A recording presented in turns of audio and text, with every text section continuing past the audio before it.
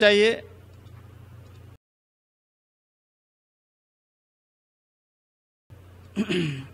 कुर्बानी की हमत क्या है? इसमें पहली हमत तो ये कि ये हमारे जद्द अमजद हज़रत इब्राहिम सलाम की इकतदा में हम कुर्बानी करते हैं। जिन्हें अपने जिगर के टुकड़े हज़रत इस्माइल को ज़िबा करने का हुक्म दिया गया था, वो यादगार हम ताज़ा करते हैं उस यादगार को। दूसरी हमत है कि ईद के दिन लोगों पर कुशादगी करना भी मकसद होता है। गरीब, गुरबा, फ़करा, मसाकिन, उम्र के साथ, खुशहाल लोगों के साथ, उनको भी गोश्त वगैरह खाने का मौका मिलता है।